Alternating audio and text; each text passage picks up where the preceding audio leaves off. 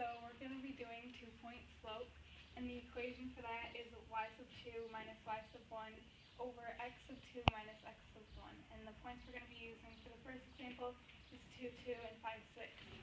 So the first thing you do is just put the x and y's in the right places. So 6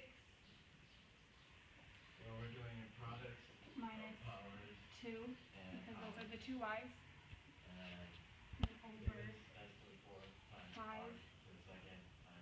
minus 2. And then you just solve those problem. so 4, 3, and then that's the slope. So then we're going to graph it on the graph. So we're going to first graph those, and then we're going to use the slope to find different points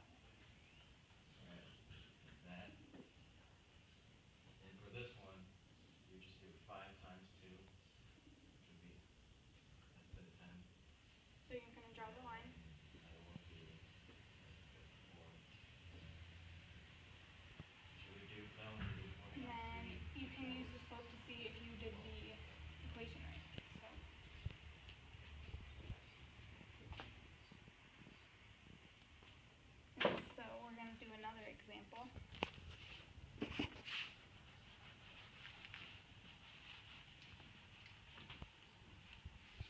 So we're gonna use the same equation for this one, and we are going to use eight, five, That's the second.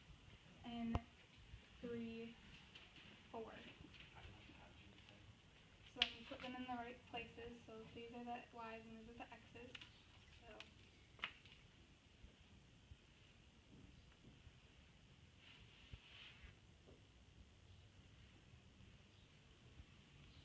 And then you just solve the problems that are right there, and then you'll find your slope.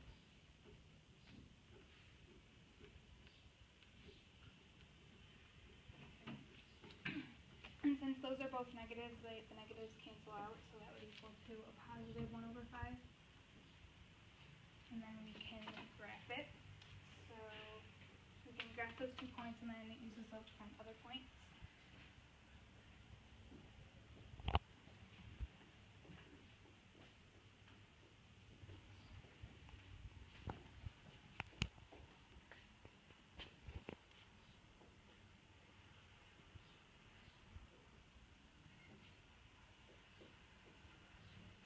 Those lines are very close together, but they are two different slopes.